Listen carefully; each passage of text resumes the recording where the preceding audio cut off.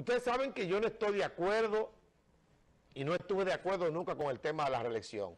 La reelección ha representado una desgracia, una maldición para este país.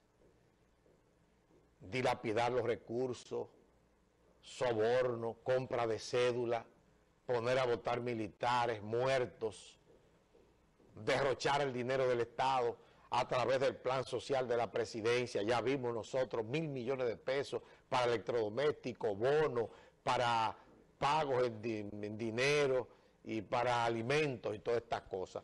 Y lo que eso implica para la población dominicana, que en definitiva somos nosotros que lo pagamos de nuestros impuestos. Eso es lo que trae la reelección. Y ha sido siempre un anticipo de fracasos y de problemas y de conflictos, porque la gente cuando llega al poder quiere eternizarse. No desde Santana, que quiso tomar tres periodos, como primer, primer presidente constitucional de la República. Nacemos de manera errada con la ansiedad, el deseo de poder, lo que repitió Buenaventura Báez, lo que repitió Lili, los 30 años de Trujillo, los 22 de Balaguer, los 20 de este.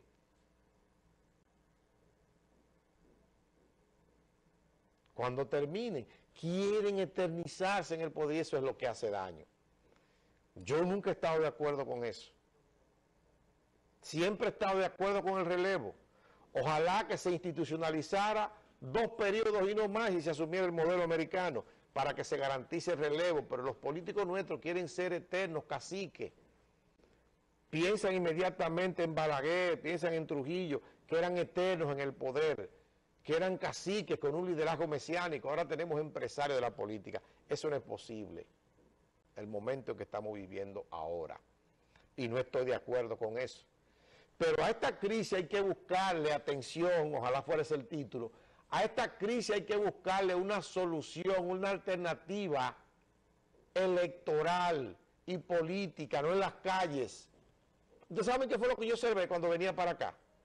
Que el grupo de Mozalbete, todos carajitos que están ahí en el parque...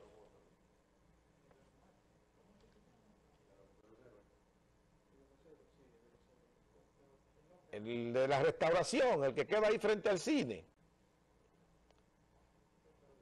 Ese parque estaba lleno de mozalbete y los que yo vi ahí fueron la mayoría de los seguidores de Leonel Fernández. Entonces sería lo contrario. Incluso trajeron de, los cabellos a un Ángel Martínez para que ayer en la Plaza de la Bandera, que yo critiqué porque hay que dejarlo que ellos se manifiesten, estaban tocando bocina, cantando, dejen tranquilos esos muchachos ahí, porque no crean que eso es al azar, todo forma parte de un plan. Y traen al investigador Ángel Martínez para que entreviste al muchacho y aparentemente sale de relajo. ¿Usted sabe qué dijo ese muchacho? En lo que él estaba haciendo la entrevista, ese muchacho le dijo que lo que hay que hacer para resolver esta crisis es matar al presidente Danilo Medina. Y él se reía porque parece que, muchacho, te saliste de control, te fuiste del texto de la entrevista que preparamos. Y el muchacho parece que se le dio, parece que tiene un paso, una cosa, y se, y se le fue, y se le fue la, y la euforia del momento.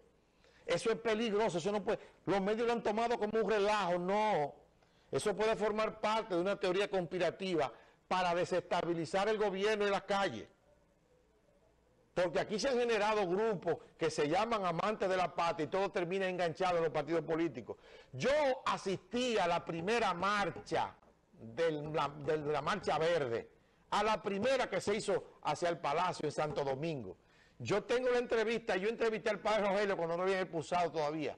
Yo iba con el grupo de sacerdotes, el del Cámara, que creemos en eso. Ahí el padre Moncho, el padre Leonardo, el padre Rogelio, el padre Luis el padre Jorge Luis. Bueno, iban, yo iba al lado de 10 sacerdotes, tengo la foto, imágenes y todo ahí. Pero resultó que yo después descubrí, y me disculpan a los verdes, que tengo mucha gente ahí, que lo que querían era buscar espacio político y promoverse. El muchachito de Camaño que sacaba a cada Claudio Camaño un video a cada rato, terminó enganchado en el PRM. Y todos terminaron enganchados en un partido porque lo que buscaban era espacio. Y desde que yo comencé a ver escoria, toda esa rata y reguero de, desahuciado metiéndose ahí, colándose ahí, yo dejé eso. Porque uno tiene que ser inteligente y darse cuenta y solamente asistía a esa primera. Y entonces lo que veo es que ahora con una modita de suerte negro y cosas, no es desestabilizando la nación. Los muchalbetes que están ahí no saben lo que es coger un fusil y fajarse a pelear y matarse. Y matarse entre hermanos y que una nación se la lleve el diablo. No a través del caos, de la anarquía, de tirarse a la calle para desestabilizar un gobierno con instituciones débiles. Porque al final vamos a sufrir lo que nos quedamos aquí porque los que son ciudadanos norteamericanos, los que son residentes y los que tienen su visa se así, pan y se largan. Y son como la, gatita de María Ramos que tira la piel y esconde en la mano. Entonces hay otro, hay otro plan. Entonces hay otra lectura. Yo hice una lectura. Ayer la gente del gobierno estaba muy contenta, ¿verdad? La gente de la oposición feliz. Ah, la teoría, el grupo de Leonel Luis Abinader era un héroe. Hoy yo soy el chico malo, porque yo no estoy de acuerdo con la desestabilización.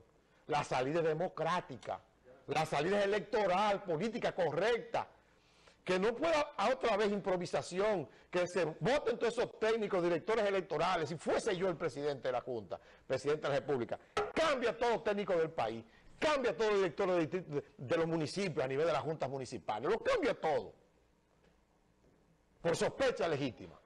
No porque ninguno sea serio, porque hay muchísima gente seria y honorable ahí. Lo hago atendiendo a la salud de la patria para evitar que técnicos y militaritos... ¿Y ustedes creen que un fraude, ustedes creen que un problema como ese se le puede cargar a un coronelito y a un tecniquito de, quinta categoría para acabar con un, sistema perfecto que estaba blindado. Ustedes saben que el mismo sistema de blindaje fue que evitó que se descargaran los programas. ¿Ustedes sabían eso? Por el mismo programa que tenían antivirus y por el mismo programa anti-hacker. ¿Ustedes no sabían eso? que eso fue lo que ralentizó y rechazaron la foto de muchos. Y por eso aparecía la foto de algunos y la de otros no. ¿Eh? Hay que tener cuidado con eso, porque hay gente que está conspirando aquí y por modita para salir en la cámara y el figureo. ¿eh? Porque ustedes saben qué es lo que le gustaría a Leonel. Porque Leonel está herido. A Leonel lo que le gustaría es que Leonel salga de ahí del palacio, o preso muerto, para decir, todo bien, yo me fui y se hundió el PLD.